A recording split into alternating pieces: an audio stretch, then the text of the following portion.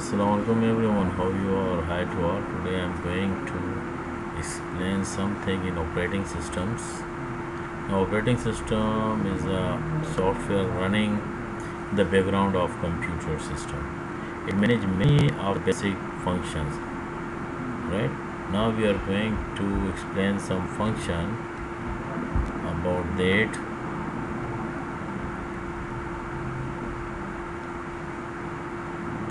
for example what type of thing it provide. And maybe something missing inside that one. But overall this one.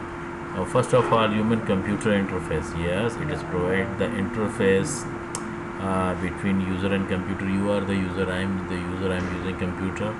This one interface sci multitasking. Yes multitasking. Provided by the that one operating system. You can use multi software there open that one multi programming yes multi programming and batch processing yes it is provide the batch processing also. You collect the data one by one in the packets and you can uh, run that one and collect the data time at a time and it will be run. Uh, error handling yes it is uh, error handling. Right? For them if any mistake occur inside the program it will be show you the result that uh, this bug is come in this line number. For if you are using basic language or if you uh, that one interpreter there. Uh, we already discussed that one translators. And also if you are using that one C language compiler will be there show you the error. Okay after that we have the other thing loading and running of application or software. Yes.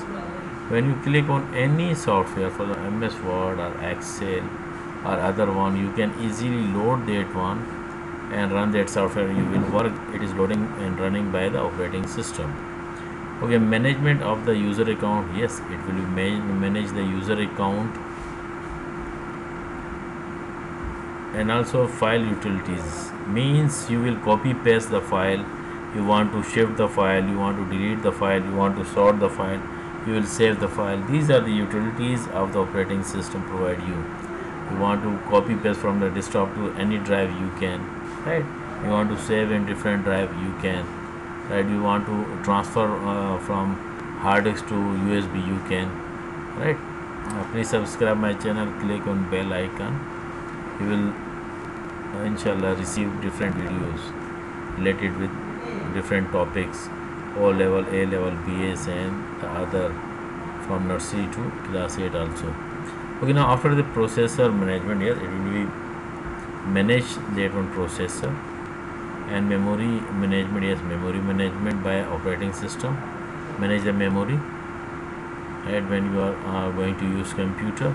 Real-time process yes real-time just like i'm using this this is real-time processing. Interrupt handling uh, routines it is uh, using by the operating system. Security means uh, that one uh, log login or password you can manage. Uh, it is managed by the operating system. We input and output control yes it is controlled by the operating system. Input output you give the input and showing the after processing it will showing the output right? Okay Allah Hafiz take care. We will meet for the other video. This is book for the O level computer science book 2210 code right? If you have any question any query you will write in the comments okay? Allah Hafiz and take care by yourself